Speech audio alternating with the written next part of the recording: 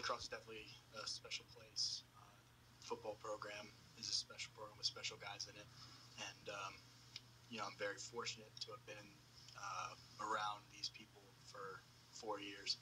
Um, of course, today didn't didn't go as planned, but uh, you know you can't take back all the, the people and all the experiences that you've you know me and Jay have gained over uh, these four years. So it's been uh, definitely life changing.